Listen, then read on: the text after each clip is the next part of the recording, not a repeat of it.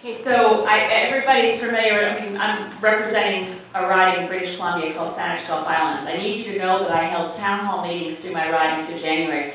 Eight different town hall meetings for MP accountability in each part of the riding. The number one issue my constituents want me to take on is to stop the super tankers. Unfortunately, this is the number one issue I want to take on.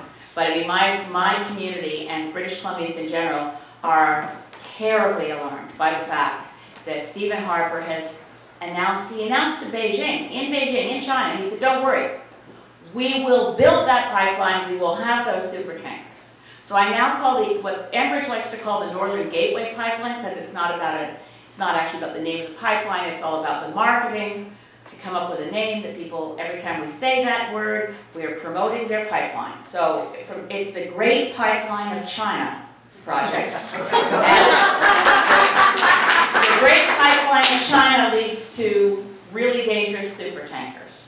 And there's a lot of ways to go at this issue. I've, if you go to my MP website, you will find uh, that my householder to my constituents this month is, I don't know if you know what a householder is, but you get a message from you, you get in mail from your MP, it comes from free, for free from the government of Canada. It usually shows your MP cutting ribbons or uh, sho- putting a shovel in the ground or waving at people. So um, my current householder to my MPs is, is a citizens primer on pipelines, tankers, and energy policy. And it points out all the reasons we shouldn't allow this great pipeline of China to be built. Uh, Of course, it- it's expansion of the oil sands, which we want to not expand.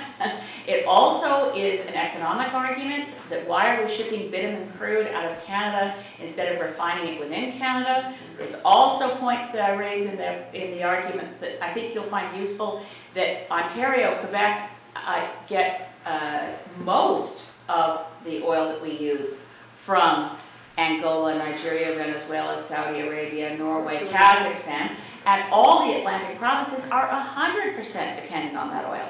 So Canada overall, for as much as Stephen Harper wants to describe us as an energy superpower, and he also wants to frame this discussion as we want to open markets to China to sell Canadian goods. That's not what's going on here. We're becoming a resource-based colony for China.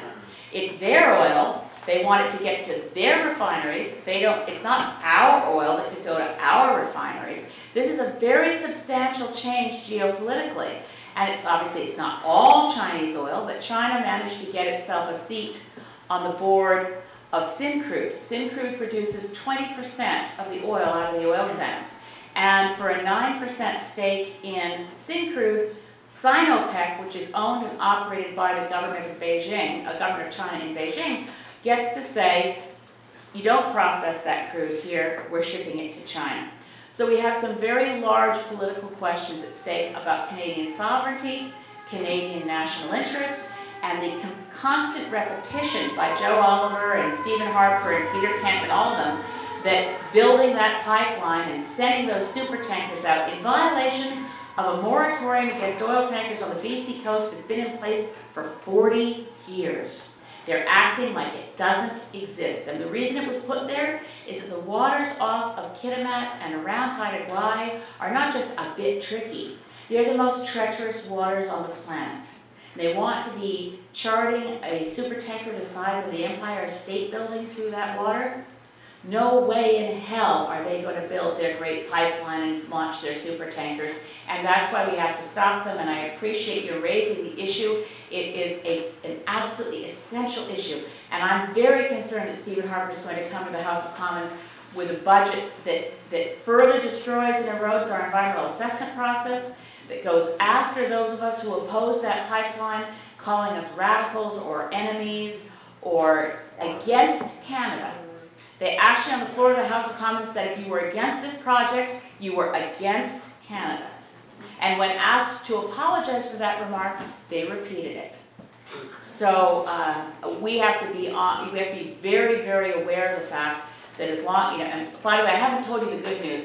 Uh, I forgot to tell you, I forgot to tell them. I want to get rid of Stephen Harper this year. I don't want to wait for election.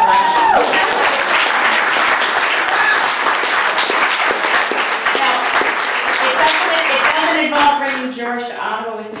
It's, it's, it's not, it's, and democratic to make sure that Canadians understand we did not elect a prime minister.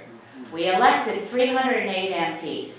The current prime minister is unfit to be prime minister of this country, and we should drive him out of office before the next election. We still have a conservative majority, they would pick a different person to be leader. Okay, as I said, other than Vic Toews, I can't think of anyone worse. Thank you. Leave it,